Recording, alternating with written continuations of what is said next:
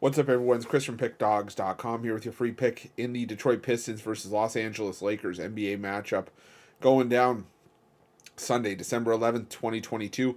Before we get to that free pick, gotta let you guys know at PickDawgz.com. We're doing it bigger and better than anyone else. Got more free pick videos on our channel than you'll find anywhere else on YouTube.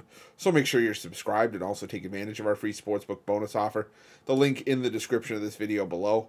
Also in the description of this video below, click the join button for more information on our YouTube VIP and premium passes. A great way to get yourself some premium content for an awesome price. Those VIP and premium passes will ensure that every single day you're getting plays from myself, Mitch, and Rod. It's one of the best values going in sports handicapping today, so make sure it's something that you check out, take advantage of, and keep in your back pocket.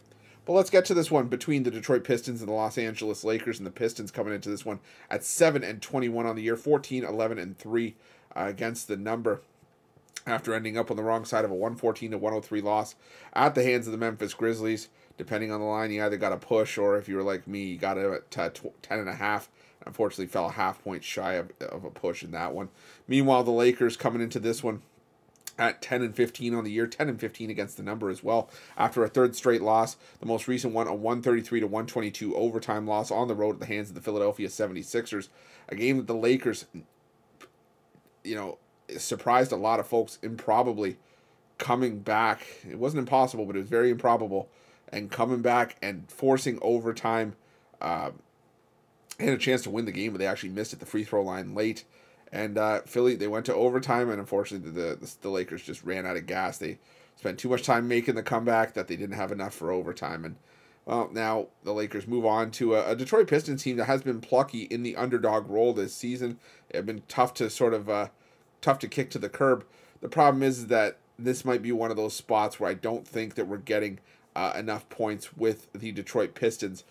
Detroit, for the most part, in certain uh, number sections, has favorable numbers. You know, when they're getting between nine, uh, seven and a half and nine and a half points this season, the uh, the Pistons are four one and two against the spread. When they're getting between ten and 12, 6 one and one against the spread.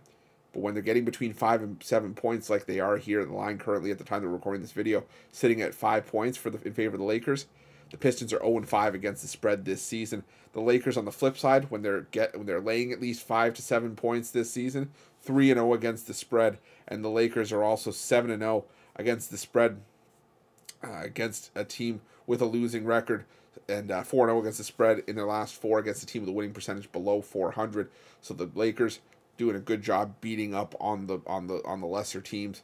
And I just think that's what we have here. This might be the first time I'm saying these words this season, but I'll lay the points with the Lakers on the road, and that's going to be my free pick.